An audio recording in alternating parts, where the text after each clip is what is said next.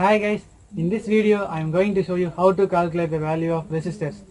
Before that we need to know what is a resistor. A resistor is small electronic device that resists the current. That is, it reduces the current flowing through the circuit. Let's go to the topic. The value of a resistor can be calculated by the color rings present above the surface of the resistor. A resistor has two ends. That is, at one end three color rings will be present. At another end one color ring will be present. By using these three colors, we have to find the value of the resistors. Let's see about the color representation. That is, BB Rai, Great Britain, very good wife.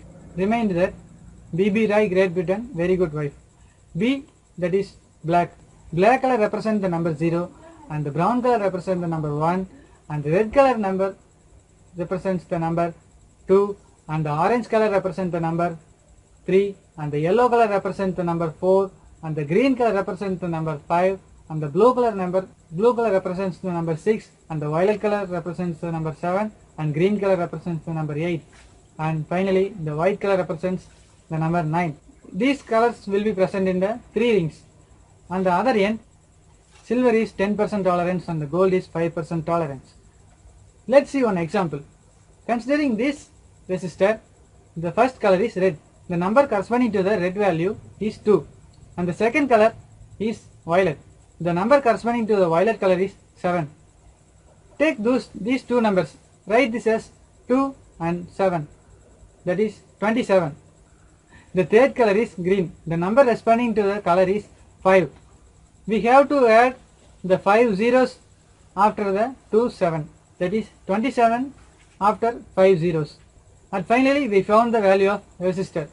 That is 2 7 0 0 0 0 0 that is 5 zeros. This can be written as 2.7 mega ohms. For this resistor the golden color ring is present. The gold color is 5% tolerance.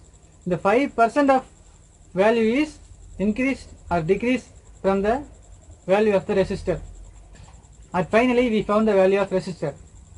Let's remind the color configuration. That is first color is black and the uh, last color is white BB Rai Great Britain very good wife. Write this and you can explain this also.